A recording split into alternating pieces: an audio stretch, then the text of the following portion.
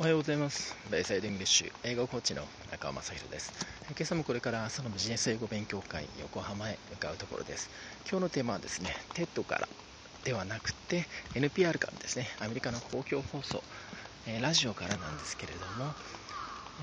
ー船舶によるこう貨物の運搬について、その、役割を重要な役割を担う人々の仕事を IT のこうソフトウェアが取って代わろうとしているっていうところなんですけれども、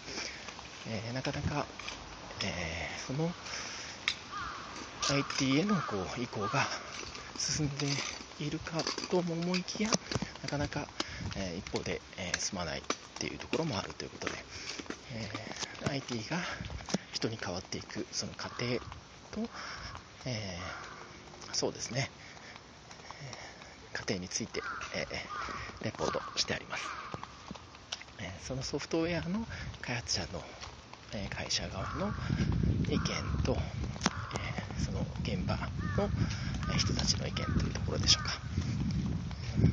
これまでもいろんな形で IT が人に変わってきたわけですけども今後そういった可能性どこまで、えーいくのかというところ、えー身近な